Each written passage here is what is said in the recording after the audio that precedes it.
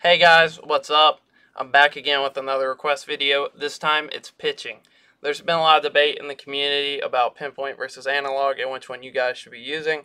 I will die on the hill that pinpoint is still better than analog, even with how bad it is, and I do expect it to get a slight buff to make it not nearly as bad as it has been, right? So, how should you go about practicing pinpoint, right? So, you come down, go to the bottom of the main menu here, custom practice. I would recommend the Brewers.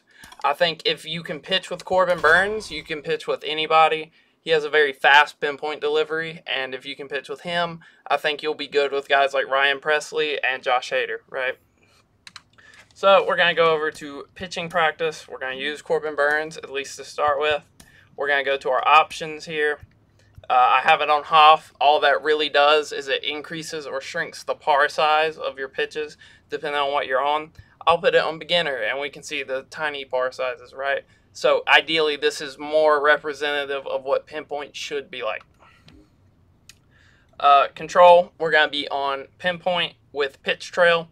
Uh, I'm a pitch trail fan. Some people use the ball with the chevrons. It doesn't let you know how a pitch breaks necessarily. It does not let you know how it's looking while it's breaking, and it gives you a rough estimate of where the ball will go.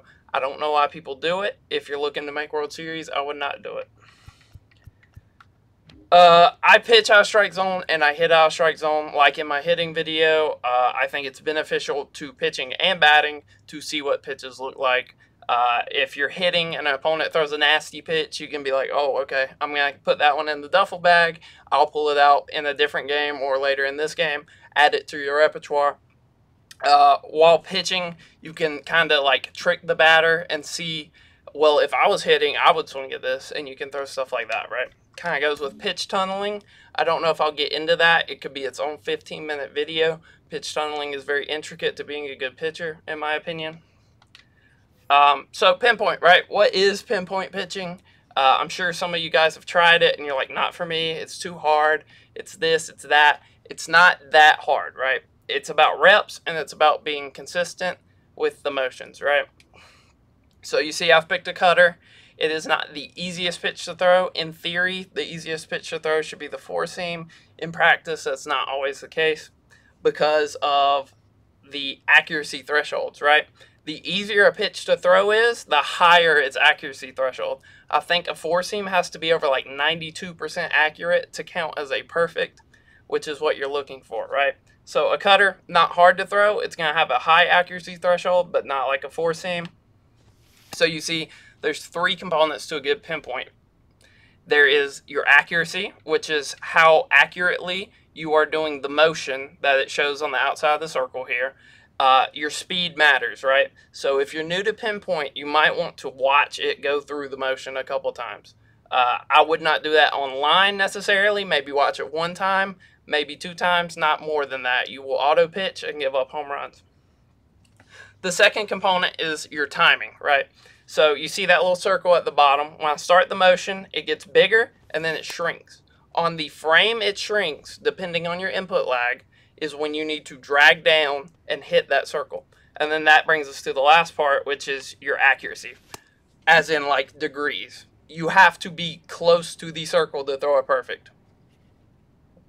Once you feel comfortable with something like a cutter or a sinker, then you can go to harder pitches to throw. The hardest ones are typically a splitter, a forkball, and a circle change. A lot of people struggle with the circle change. A lot of times that's because of what controller you're on, right? So I said in my hitting video, you kind of need to be playing on an old Xbox controller or an Elite controller. Uh, Power A has some alternatives. I did not like the one that I got. It got stick drift in like two weeks. But maybe there Maybe the $80 version might work better. I don't know. I can't speak from experience on that. But for me, I use old Xbox controllers with the D-pad that does not have all the hexagons and stuff or an Elite controller.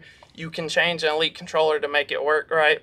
Uh, PlayStation does not have to worry about all this. But yeah, so with the circle change, you want to focus on your cadence, right? pinpoint should be smooth, right? My advice is if you mess up the timing at the start, Do not overcorrect yourself. Maybe you can find the timing halfway through the pitch, but in general, just really pay attention to the cadence you're supposed to use. You see, when you slow yourself down and try to correct for mistakes, you get something like that. Just commit to what you're seeing. Uh, it should be smooth. A pinpoint never speeds up at any point. It goes the same pace around the circle the whole time, right? So it's about being smooth. It's always going to be the same speed, no matter what pitch you're throwing, no matter what. The only time it can change is when you have a pitcher with a different different motion, right? So Corbin Burnes always pitches out the stretch. Uh, if you don't know what the stretch is, most pitchers go to it when there's a runner on base because you can't have these long wind-up animations because base runners will steal bags on you, basically. Uh, so here's Woodruff. He pitches out the windup. You see how much more time you have to do the motion, and you also sit at the top for longer. Uh, it's just dependent on what pitcher you're using. You can see a circle change has a very, very low accuracy threshold. As long as you do not butcher the pitch, you should be able to throw a perfect. In theory, you should throw a perfect every pitch.